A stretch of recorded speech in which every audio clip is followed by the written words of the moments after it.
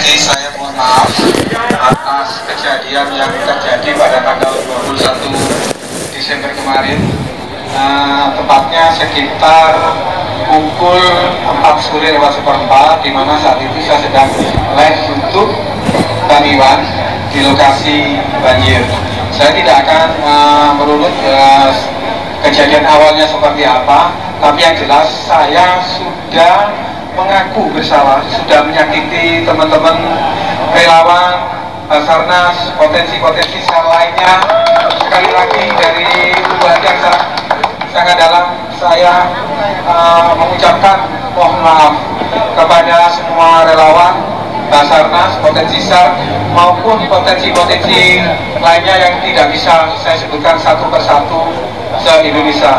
Dalam hal ini saya juga telah membuat surat permohonan maaf secara tertulis dan bermaterai 10 ribu uh, tujuannya akan saya bacakan.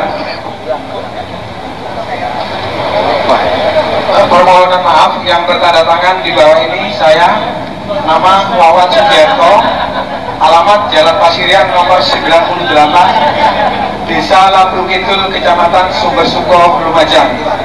Pekerjaan wira swasta uh, pemilik akun channel YouTube Bang Iwan dengan ini saya menyampaikan permohonan maaf. Sekali lagi, saya menyampaikan permohonan maaf yang sebesar-besarnya kepada semua relawan, Basarnas, SAR, dan potensi-potensi lainnya se-Indonesia yang tidak bisa saya sebutkan satu persatu atas semua kekilafan, kesalahan saya yang tidak berhati-hati dalam bersikap dan bertindak terhadap para dua relawan pada saat terjadi banjir lahar di Semeru pada hari Sabtu 21 Desember 2021 sekitar pukul 16.00 saat live YouTube Bang Iwan di sekitar jembatan gantung Kalirgoyo Desa Superwulu Kecamatan Jadipuro Lumajang. Di mana saat itu saya telah berbuat kurang pantas dengan mengeluarkan kalimat bernada meremehkan kedua relawan di lokasi yang berusaha mengingatkan saya agar segera menjauh dari sungai yang sedang dilintasi lahar dingin.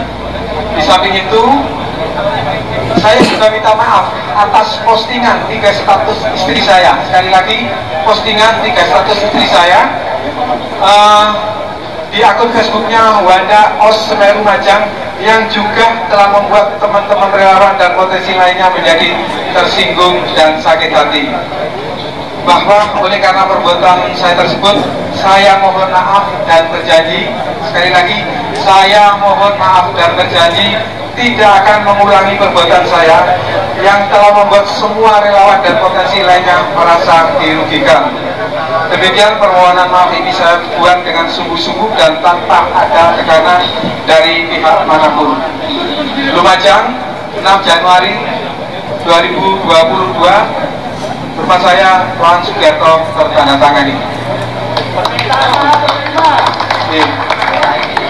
Dan ini bisa saya tunjukkan.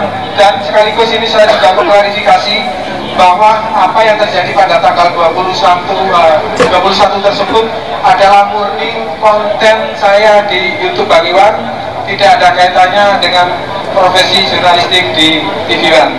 Ini sekaligus meluruskan bahwa itu murni konten saya di Bang Iwan sekali lagi bukan di profesi jurnalis saya di TV One sekali lagi mohon teman-teman semua uh, bisa memaafkan Haji ini Jatolik terutama dan Pak Forkopindah lainnya Pak Dandim, Pak Kapolres karena saya telah membuat gaduh di rumah aja. Itu dan saya minta, uh, minta Jatolik juga memberikan komentar terkait masalah ini. Terima kasih. Wassalamualaikum warahmatullahi wabarakatuh. Salam.